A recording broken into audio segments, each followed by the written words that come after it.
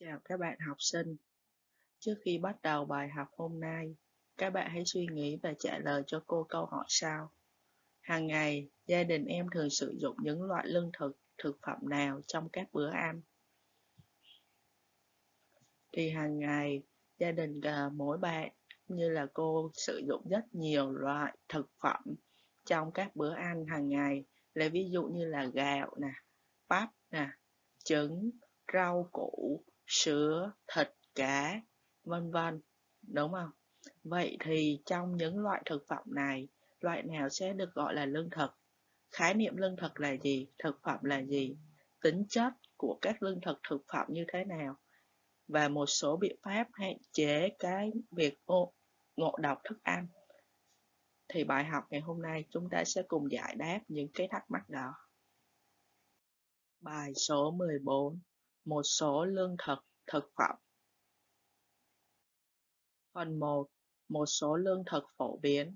Thì để tìm hiểu một số loại thương lương thực phổ biến ở nước ta, các bạn hãy quan sát cho cô hình 14.1 trong sách giáo khoa và kể tên một số loại lương thực phổ biến ở Việt Nam. Thì hình A chính là cây lúa, hình B là cây ngô hay còn gọi là cây bắp, hình C là khoai lang và hình D là củ sắn. Ngoài một số loại lương thực phổ biến kể trên thì các bạn thường hay nghe là ngũ cốc, các loại hạt ngũ cốc. Vậy thì ngũ cốc là gì? Ngũ cốc là tên gọi có từ thời Trung Hoa cổ đại nhằm chỉ năm loại thực vật giàu dưỡng chất với hạt có thể ăn được, bao gồm là gạo nếp, gạo tẻ, mì, vừng và các loại đậu. Ngày nay thuật ngữ này đôi khi được dùng để gọi chung các loại cây lương thực hay sản phẩm chính thu được từ chúng. Ngũ cốc được biết đến và sử dụng như một loại thực phẩm quan trọng cho bữa ăn hàng ngày. Khoa học chứng minh rằng các loại ngũ cốc rất giàu giá trị dinh dưỡng, cung cấp lượng lớn protein, vitamin, khoáng vi lượng cho cơ thể. Chúng ta vừa tìm hiểu xong một số loại lương thực phổ biến ở Việt Nam. Vậy thì tính chất cũng như là ứng dụng của những loại lương thực này trong đời sống như thế nào? Các bạn hãy cùng tìm hiểu bằng cách là hoàn thành cho cô cái bản 14.1 sách giáo khoa trang 69 à, để tìm hiểu một số tính chất và ứng dụng của bốn loại lương thực phổ biến mà mình vừa tìm hiểu ở hình 17.1. Đầu tiên là hạt gạo. Thì trạng thái của gạo tồn tại ở dạng hạt.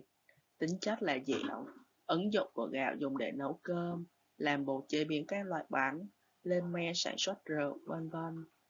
Tiếp theo là ngô. Thì ngô trạng thái tồn tại ở dạng bắp hoặc hạt. Tính chất là dẻo. Ứng dụng dùng để luộc, làm bột chế biến các loại bánh, lên men sản xuất rượu, làm thức ăn cho các loại gia súc, gia cầm. Đối với khoai lang, trạng thái là củ, tính chất là bùi, ứng dụng dùng để luộc, làm bột chế biến các loại bánh, làm thức ăn cho các loại gia súc, gia cầm. Cuối cùng là sắn, trạng thái ở dạng cũ, tính chất bùi, ứng dụng cũng dùng để luộc, làm bột chế biến các loại bánh, làm thức ăn cho các loại gia súc, gia cầm, lên men sản xuất rượu hoặc cồn công nghiệp. Vậy, qua các hoạt động trên, chúng ta rút ra được khái niệm lương thực là thức ăn chứa hàm lượng lớn tinh bột nguồn cung cấp chính về năng lượng và các chất bột, carbon hydrate trong khẩu phần thức ăn. Ngoài ra, lương thực chứa nhiều những chất khác như protein, chất đạm, lipid, còn gọi là chất béo, calcium, phosphorus, sắt, các vitamin nhóm B như B1, B2 và các khoáng chất khác. Vậy thì mình đã biết được khái niệm lương thực rồi.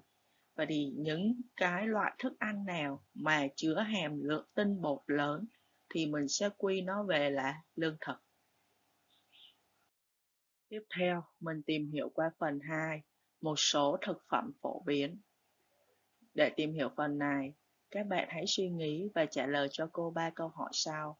Câu thứ nhất, kể tên một số loại thực phẩm gia đình em thường sử dụng hàng ngày. Câu 2, nêu một số dấu hiệu nhận biết thực phẩm bị hỏng.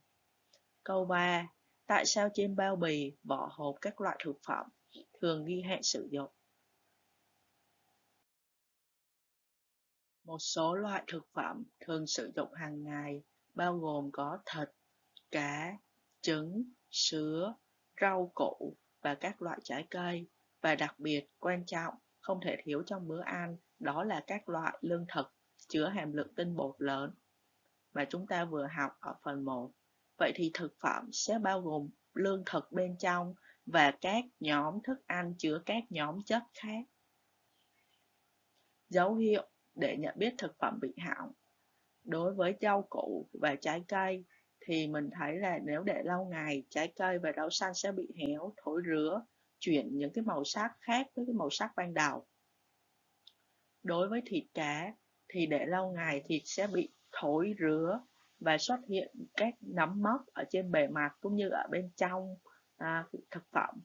Và thực phẩm khi mà bị thối rửa thì sẽ có mùi ương rất là khó chịu.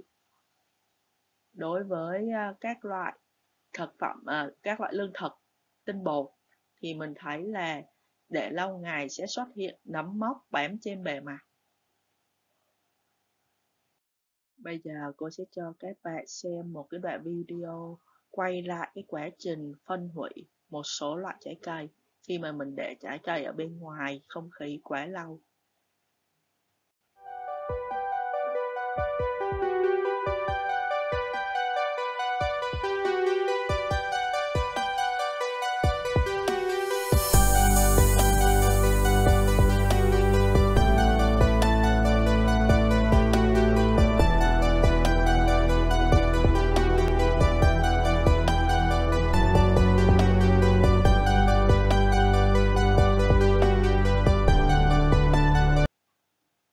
Rồi thì các bạn thấy là cái đoạn video này nó đã mô phỏng lại quá trình phân hủy của trái cây khi mình mình để ở bên ngoài quá lâu.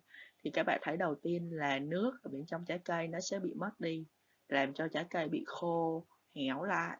Rồi xuất hiện các vi sinh vật nó uh, ký sinh ở trên trái cây nó làm tạo ra các loại cái nấm mốc độc hại khác do thực phẩm để ngoài không khí dễ bị phân hủy bởi các vi sinh vật hoặc bị oxy hóa trong không khí dẫn đến hư hỏng, nên là trên bao bì và các vỏ hộp. Các bạn thấy các nhà sản xuất thường để cho mình cái hạn sử dụng để là lưu ý với người tiêu dùng nên sử dụng thực phẩm trong thời gian quy định ghi ở trên để tránh bị ngộ độc thực phẩm do ăn phải thực phẩm hư hỏng. Vậy thì qua các hoạt động trên, các bạn đã tìm hiểu được khái niệm thực phẩm, hay còn gọi là thức ăn, á, là sản phẩm chứa các chất bột, tinh bột, carbon hydrate, chất béo, còn gọi là lipid, chất đạm là protein hoặc nước mà con người có thể ăn hay uống được nhằm cung cấp các chất dinh dưỡng cho cơ thể.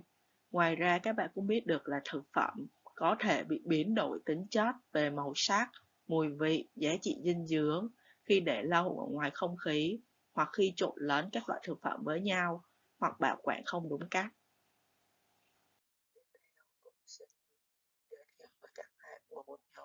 dinh dưỡng chính có trong các loại thực phẩm mà chúng ta ăn hàng ngày. Đầu tiên là chất bột, đường. Chất này có vai trò là cung cấp năng lượng chính cho cơ thể, lấy được từ các nguồn lương thực của mình, ví dụ như là gạo, bún, khoai, vân vân. Nhóm chất thứ hai là chất béo. À, vai trò của chất này là nguồn dự trữ năng lượng cho cơ thể, có tác dụng chống lạnh, tồn tại dạng sản phẩm chế biến như là bơ, dầu thực vật và các thực phẩm tự nhiên như là trứng, sữa. Nhóm chất thứ ba là chất đạm. Vai trò của nhóm chất này là cấu tạo, duy trì sự phát triển của cơ thể, liên quan đến chức năng sống của cơ thể, cần cho sự chuyển hóa chất dinh dưỡng, có trong các thực phẩm như là trứng, sữa, cá, các loại đậu. Nhóm chất thứ tư là vitamin và muối khoáng. Nhóm chất này ảnh hưởng tới quá trình trao đổi chất. Vitamin và khoáng đầy đủ tăng cường hệ miễn dịch, có thể tìm thấy trong các loại thực phẩm như là hải sản, rau xanh, trái cây. Rồi, ở đây cô đang trích xuất hai cái bài báo à, phản ánh về việc ngộ độc thực phẩm xảy ra ở học sinh thì các bạn thấy là lâu lâu các bạn đọc tin tức ở trên báo chí á, thì các bạn thấy là lâu lâu lại xuất hiện một cái tin báo về một cái việc ngộ độc thực phẩm tập thể có thể là xảy ra ở trong các nhà máy sản xuất hoặc là xảy ra trong chính trường học luôn đối với các bạn học sinh, đúng không? Vậy thì nguyên nhân nào gây ra ngộ độc thực phẩm? Và có những cái biện pháp nào để có thể là bảo quản, chế biến và sử dụng thực phẩm an toàn, hiệu quả? Ha, thì mình sẽ cùng tìm hiểu. Nguyên nhân gây ra ngộ độc thực phẩm rất đa dạng, nhưng có thể chia thành 4 nhóm chính sau. Nhóm thứ nhất là do ký sinh trùng, do vi khuẩn, độc tố của vi khuẩn, virus, nấm mốc và nấm men. Nhóm thứ hai là do thức ăn bị trệ, bị biến chất, ôi thiêu. Một số loại thực phẩm khi để lâu hoặc bị ôi thiêu thường sinh ra các độc tố, ví dụ như là sử dụng lại dầu mỡ chiên nhiều lần, gây hại cho sức khỏe của người dùng. Các độc tố này thường không bị phân hủy hoặc giảm khả năng gây độc dù được đun sôi. Nhóm thứ ba là do ăn phải thực phẩm có sẵn độc tố. Khi ăn các thực phẩm có sẵn độc tố như là cá nóc nè, gan cóc, mật cá chấm, một số loại nấm độc, khoai tây mọc mầm, một số loại quả hoặc đậu thì khả năng ngộ phẩm, ngộ độc thực phẩm xảy ra rất cao. Nhóm thứ tư là do nhiễm các chất hóa học, do ô nhiễm kim loại nặng. Thực phẩm nếu như là được nuôi trồng, chế biến tại các khu vực mà có nguồn nước đất bị ô nhiễm bởi các kim loại nặng thì cũng khi mà mình ăn phải những cái loại thực phẩm này cũng sẽ bị ngộ độc. Hoặc do khi chăn nuôi dùng quá nhiều thuốc bảo vệ thực vật hoặc những cái thức ăn của động vật chăn nuôi á động vật ờ, mình chăn nuôi á, mà mình sử dụng quá nhiều các chất hóa học thì cũng khi mà mình ăn phải những thực phẩm như vậy cũng sẽ bị nhiễm các chất hóa học vào trong cơ thể. Thì đây là bốn cái nguyên nhân chính gây ra ngộ độc thực phẩm rồi ở đây cô lấy cho các bạn một cái ví dụ về khoai tây mọc mầm khi mà ăn khoai tây mọc mầm các bạn sẽ bị ngộ độc vậy tại sao thì khoai tây mọc mầm á, tinh bột sẽ chuyển hóa thành hai chất là solanin và choco alpha là hai chất gây ngộ độc cho người.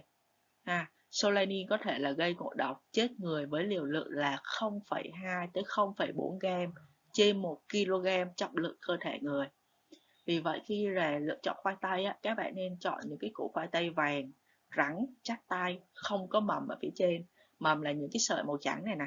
Ha, các bạn nên lựa chọn những củ khoai tây vàng chắc, không có mầm, mầm ở phía trên được chưa và khi mà mình bảo quản khoai tây á các bạn nên lưu ý là để ở nơi khô ráo không có ánh sáng để tránh cho khoai tây tiếp tục là mọc mầm và nhất quyết là không sử dụng khoai tây đã mọc mầm và khi sử dụng khoai tây là, là trước khi chế biến á, nên ngâm vào nước muối để vài giờ để loại bỏ được cái độc tố còn đây là một số cách bảo quản và chế biến sử dụng một số loại thực phẩm khác. À, đối với các loại lương thực à, như là ngô, khoai, gạo, các loại đồ khô á, thì nên để ở nơi khô ráo để tránh bị móc. Khi thực phẩm mà bị móc á, thì cần phải bỏ đi, không được sử dụng vì móc sẽ tạo thành độc tố vi nấm có hại cho sức khỏe. Còn đối với các thực phẩm tươi sống như là thịt cá thì nên sử dụng khi còn tươi, sống và cần chế biến kỹ, đảm bảo an toàn thực phẩm. Nếu trong trường hợp cần tích trữ lâu dài, có thể để trong ngăn lạnh của tủ lạnh hoặc tủ đá. Tuy nhiên, thời gian bảo quản là không quá 3 ngày. Rồi, còn đối với gạo, ha, thì lớp ngoài cùng của gạo, hạt gạo á, và mầm hạt gạo đều chứa các chất dinh dưỡng quý như là đạm, chất béo, canxi,um và các vitamin nhóm B, nên là không xay sát gạo quá trắng dẫn đến là mất chất dinh dưỡng. Khi nấu cơm cũng có thể là mất đi vitamin B1, vì vậy là không vo gạo quá kỹ, nên dùng nước sôi và đậy vung khi nấu cơm. Rồi, đối với măng á, thì nên là khởi động măng tươi bằng cách là luộc nhiều nước hoặc ngâm với nước vôi trong. Ha.